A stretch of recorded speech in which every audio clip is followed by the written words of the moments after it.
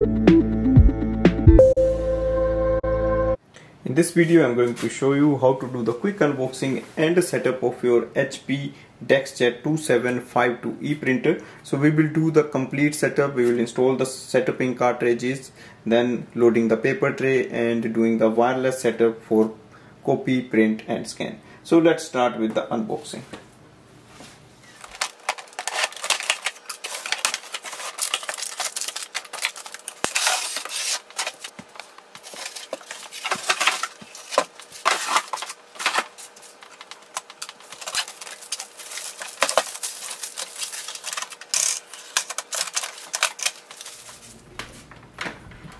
Plug in the power cable. Now open the ink cartridge chamber door which is in the front. Place the ink cartridges one by one. So black will go to the black side. Slide it in hold the printer with the other hand. So you have to push it in. You will hear a lock sound. That means ink cartridge is installed properly. Close this door. And this is actually the paper output tray. You can leave it like this Load the paper at the rear paper tray.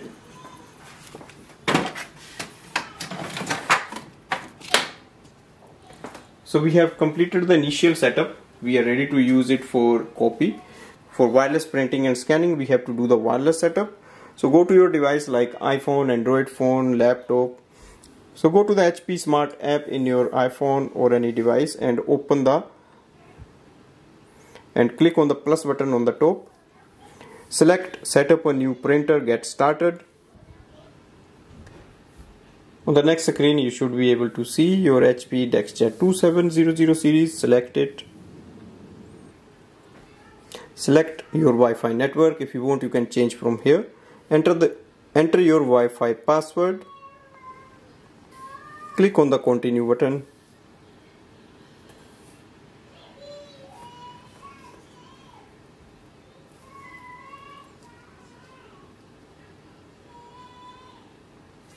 Press the flashing information button on the printer panel. Click continue. Click continue again. You can activate the HP Plus or you can just decline the offer and you can do it later.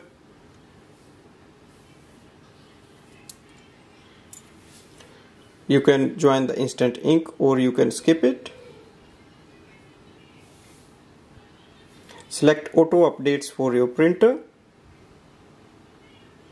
Setup is complete. We can print this page for the confirmation. So this is the welcome sheet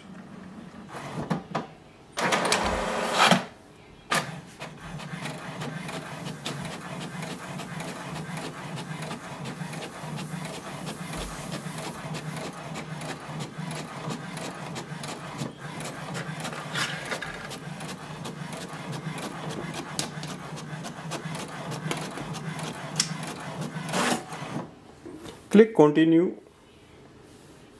You can send link to other devices or you can skip it. So setup is complete. Click all done.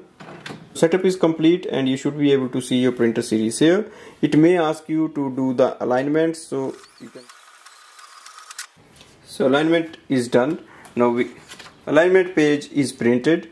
Next thing is to place this page on the scanner. So open the top scanner lid